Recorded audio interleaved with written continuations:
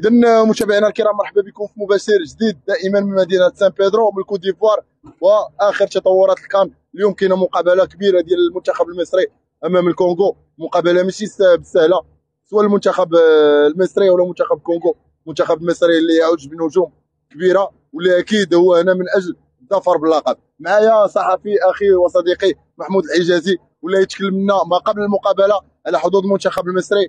وكيف كيشوف المقابلة اللي غادي تجمع المنتخب المصري بعد قليل أمام منتخب الكونغو. محمود الحجازي مرحبا بك. مرحب بك الأول وكل مشاهديك في المغرب وفي كل الوطن العربي.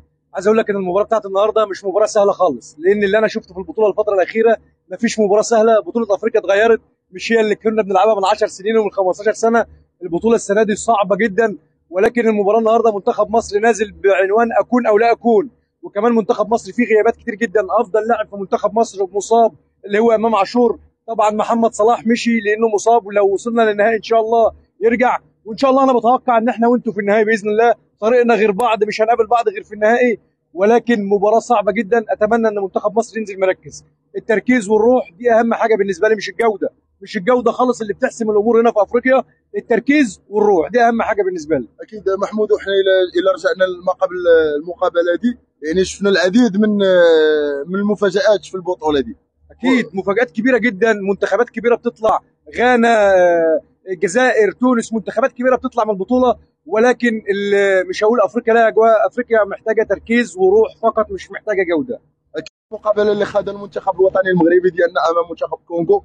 يعني المنتخب الكونغو بان واحد الطراوه بدنية بان يعني ما مأثرش عليه الرطوبة ما مأثرش عليه الجو. كيفاش كتشوف غادي تدوز المقابلة أمام منتخب مصر اليوم. أنا حضرت مباراة المغرب والكونغو بالمناسبة ولكن المباراة كانت ملعوبة في توقيت غريب. الساعة 2 الظهر ده في صالح كل الأفارقة مش في صالحنا إحنا. لما تيجي تشوف لعيبه منتخب المغرب بيلعبوا فين؟ 90% إن لم يكن 100% بيلعبوا محترفين بره متعودين على الأجواء الباردة متعودين على الأجواء بتاعة كرة القدم. لما تيجي تلعبهم الساعة 2 الظهر ولكن على العكس تماما نص لعيبه منتخب مصر إن لم يكن الأكثر بيلعبوا في أفريقيا. فهتلعبنا الظهر هتلعبنا العصر. إن شاء الله إحنا موجودين وزي ما قلت لك المباراة دي تكسب ولا تلعب. أنا أهم حاجة آخد المطلوب من المباراة. أنا مش عايز أطلع خمسة واربعه والكلام اللي كنا بنشوفه أيام أبو تريكة ده أنا مش عايز. أنا عايز أصعد بس مش عايز أكتر من كده. إن شاء الله النهارده إحنا بنلعب الساعة 8 بالليل. أجواء عظيمة جدا أجواء كرة قدم. إن شاء الله ده يكون في صالحنا وما يكونش في صالح الكونغو. الكونغو عندها يعني عندها الروح وعندها اللياقة البدنية كبيرة جدا. ولكن هنتغلب على ده إن شاء الله بالروح بإذن الله. غياب محمد صلاح النجم الأول المنتخب المصري. كيفاش كتشوفوا واش ما اثرش على الفريق خصوصا أن دي مقابلة يعني مقابلة إحنا زي ما نقول مصيرية. لو ربحت يعني غادي تمشي للدور المقبل ولا خسرت آه غادي تمشي لبلادك. خليني أقول لك إن محمد صلاح لاعب كبير من أهم اللعيبه اللي موجودة في العالم مش بس في الوطن العربي. غيابه مؤثر كتير جدا على منتخب مصر ولكن إحنا اتعودنا في منتخب مصر إن في 11 راجل في الملعب. إحنا مش أسماء إحنا منتخب بيمثل بلد في 11 راجل لابسين التيشيرت ده هينزلوا يأدوا بروح ويأدوا برجولة علشان بيلعبوا باسم بلدهم ويشرفوا ويرفعوا اسم بلدهم فوق بإذن الله. إن شاء الله. أكيد غادي نبغي نمشي معاك لمنتخبنا الوطني المغربي. كيفاش كتشوفوا المقابلات اللي خداها؟ كيفاش كتشوف يعني خصوصا الدور الأول مريناه الحمد لله بسلام. كيفاش كتشوف مقابلة أمام جنوب إفريقيا؟ المنتخب المغربي كمان المنتخب المغربي هو المنتخب العربي أو الشمال الافريقي الوحيد اللي تأهل أول مجموعة ودي حاجة تحسب له في ظل الظروف اللي إحنا بنشوفها والمنتخبات اللي إحنا بنشوفها. مصر باسمها بتاريخها بتتأهل ثاني بثلاث نقط من ثلاث تعادلات فده تحسب لمنتخب المغرب وخصوصا إن هو أكتر منتخب في البطولة عليه ضغط هو والسنغال. السنغال جاي لك بطل أفريقيا المغرب جاي رابع العالم فأنا جاي عليا ضغط ولكن ده ما فرقش مع منتخب المغرب. نزل لعب برجولة لعب بأداء كويس أمتع اتعادل مباراة مقبولة جدا في ظل اللي إحنا بنشوفه. وفي ظل اللي انت بتلعب الساعة 2 الظهر ولكن منتخب المغرب عامل بطولة لحد دلوقتي بطولة كويسة.